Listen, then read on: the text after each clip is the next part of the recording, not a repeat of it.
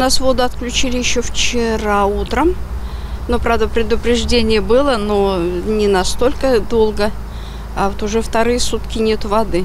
Рашида живет в доме 135 на улице Бегаш. Женщина возвращается из магазина, ходила за водой. Рассказала, что в связи с предупреждением, что воды не будет до вечера, набирали в емкости. Что подачу не возобновят и на вторые сутки не ожидали. По словам Рашиды, в основном микрорайоне живут семьи с детьми. Об этом писали и в чате главы, когда просили разобраться с ситуацией. Тимур Дмитриевич, прошу разобраться в причинах длительного отключения ХВС и ГВС с нарушением действующего законодательства. В связи с плановыми работами сегодня, почему больше 10 часов нет воды?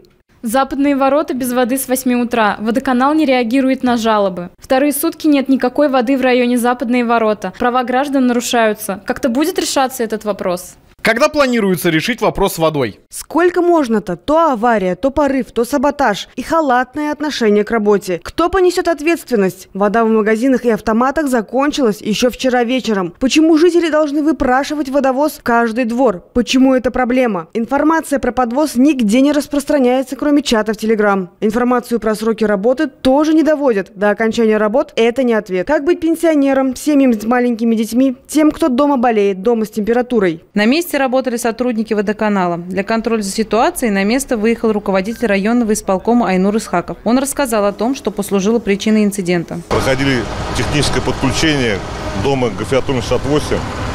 После окончания работ произошла аварийная ситуация. На данный момент водоканал данный вопрос устраняет.